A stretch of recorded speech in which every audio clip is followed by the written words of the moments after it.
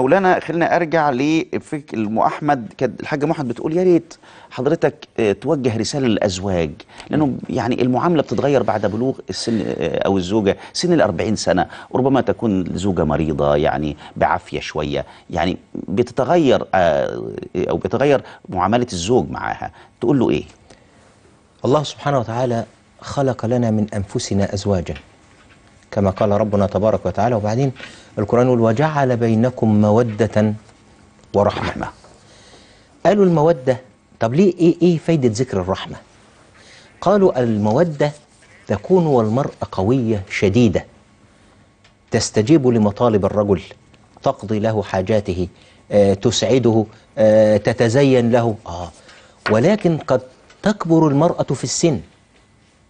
طيب هنا بقى ننتقل إلى الرحمة. يبقى زي انت عارف المثل نقول يعني يعني الواحد ما ياخدهاش لحم ويرميها عظم ما ينفعش.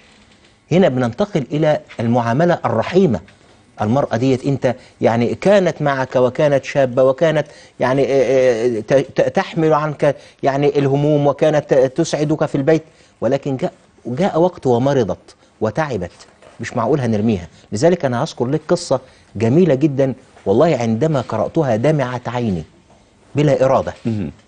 رجل 80 سنة والزوجة س- 76 سنة رجل أجنبي.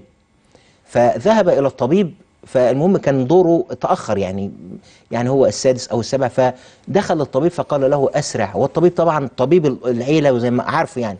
فقال له أسرع فاليوم هو عيد ميلاد زوجتي. فهو عارف الزوجة فين؟ فقال له يعني الزوجة عندها زهايمر. ولا تدري شيئا عمن حولها. ده مش عارفة حد أصلا. فهو رد عليه إيه؟ قال ولكني أعرفها. يا سلام. شوف ولكني أعرفها. هي خلاص وصلت إلى مرحلة الخرف. لا تعرفك ولكن أنت تعرفها. تعرفها ديت أنت عارف فكرتني بقى إيه؟ يتذكر شبابها يتذكر آه، نهوضها معه يتذكر تزيينها له يتذكر قيامها ماذا كانت تفعل من. أجله؟ ماذا كانت تفعل له؟ ده, ده بي بي يعني مش عايز أقول لك يعني فقد إيه شوف ال- الإحساس الجميل ولكني أعرفها. فعايزين نقول كل لكل الأزواج إذا ما كبرت المرأة وتعبت الله يكرمك تذكر هذه العبارة وقل ولكني أعرفها. ربنا يرحمنا جميعا.